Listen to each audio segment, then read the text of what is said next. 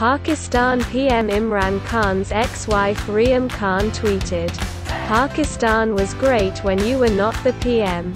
In an apparent jibe at the Pakistan PM. After he said that he has attained everything in life. Reham tweeted, The man who has everything but intelligence.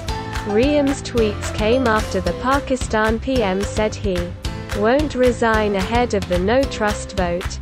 Subscribe to the channel for more news.